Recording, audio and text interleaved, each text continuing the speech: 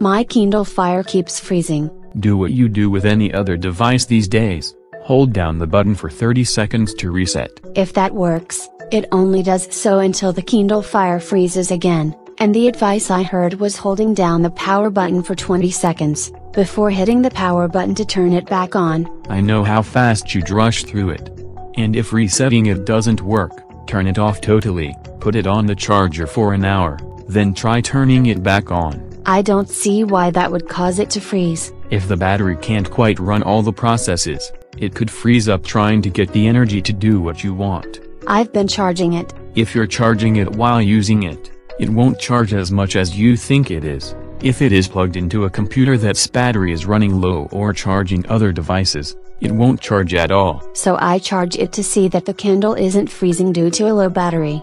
Amazon's help desk suggests resetting it after you charge it to prevent further problems. Of course they suggest rebooting it after charging it. Everyone suggests that as their default tech support solution these days. You could also have the software freezing because it needs to be updated. If it was freezing after an update, the solution is to reboot it. Or you need to update the software. I think I have the latest version.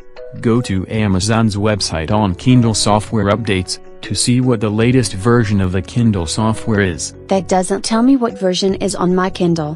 Go to settings to see what version is on your device. What do I do if there is a difference? Connect to Wi-Fi, and it should update automatically. I wonder if it would freeze if it can't connect to Wi-Fi. That would confuse the heck out of it and it can't update when the Wi-Fi password in the device doesn't match what you set the Wi-Fi password to. I haven't reset that password for a while. But if the Kindle is trying to update and is too far from the Wi-Fi, it could sit there taking up resources trying to connect, assuming the router itself is installed or lost its connection. Then I either need to reboot the Kindle or the Wi-Fi. Or both. What else can I try? Go to Settings, Reset Device that wipes all my data and account information. True, but you also eliminate all the glitchy downloads and potential errors, as well as any oddball apps you saved. And if you downloaded any apps after hacking the Kindle, that could clear it too. I've paid for a lot of apps and content.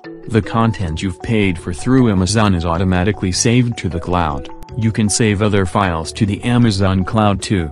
Though keep it minimal or the restoration will take so long you think it's stalled again.